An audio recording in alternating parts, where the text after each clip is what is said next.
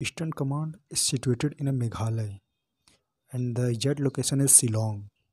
And our Western Command is situated in New Delhi. That is the capital of our country as we will know that.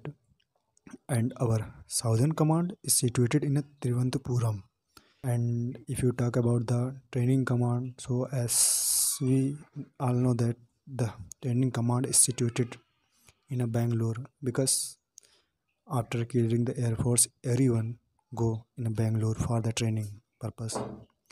And if i talk about the southern western command so its location is gandhinagar. And that location is situated in gujarat. And i think you will know gandhinagar is the capital of gujarat. And uh, if you talk about our central command so it is situated in allahabad